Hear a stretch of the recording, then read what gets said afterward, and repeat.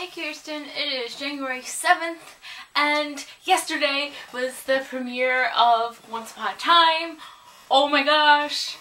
Ah, I was so excited. I actually kind of forgot that it was going to be on. Um, mostly because Lost Girl was also on last night and I was really really excited for that. But Love or Once Upon a Time was really good. Um, I felt really bad for Regina, and then I didn't, and then I did, and then I didn't, and I'm just like, writers, why are you doing this to me? But yeah, I like Regina as a character, but I'm just so conflicted on her as like a person. I just don't even know. But she did cry, and I feel felt bad, but ugh, I just really hate Cora. I just had a heart attack um, when we thought Mr. Hopper, whatever, Jiminy Cricket, had died.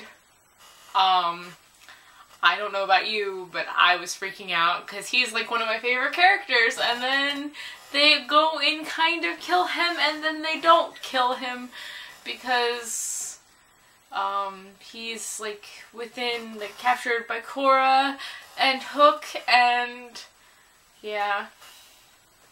But next week looks really, really good. Lots and lots of Hook.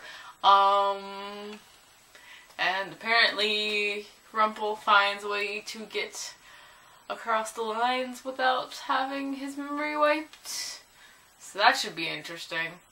Though I would I would be curious to know if his memory would have been wiped in the first place since he didn't really have like the whole identity crisis that the rest of the people in town did. So what exactly would that do to him? I don't know. It's interesting to think about. Lost Girl was also amazing. Um, you have to catch up all the episodes. I will get those DVDs from Lauren if I have to pry pry them from her cold dead hands. Though I would never kill her, but you know, I really want them back so you can watch them and ah.